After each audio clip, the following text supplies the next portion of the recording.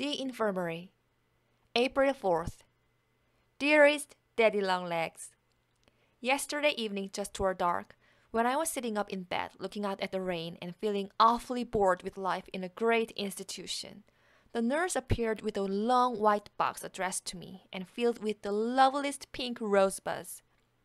And much nicer still, it contained a card with a very polite message written in a funny little uphill backhand, but one which shows a great deal of character. Thank you, Daddy, a thousand times. Your flowers make the first real, true present I ever received in my life. If you want to know what a baby I am, I lay down and cried because I was so happy.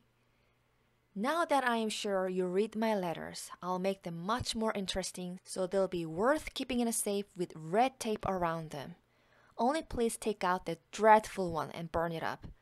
I'd hate to think that you ever read it over. Thank you for making a very sick, cross, miserable freshman cheerful. Probably you have lots of loving family and friends and you don't know what it feels like to be alone. But I do. Goodbye. I'll promise never to be horrid again because now I know you're a real person. Also, I'll promise never to bother you with any more questions. Do you still hate girls? Yours forever, Judy.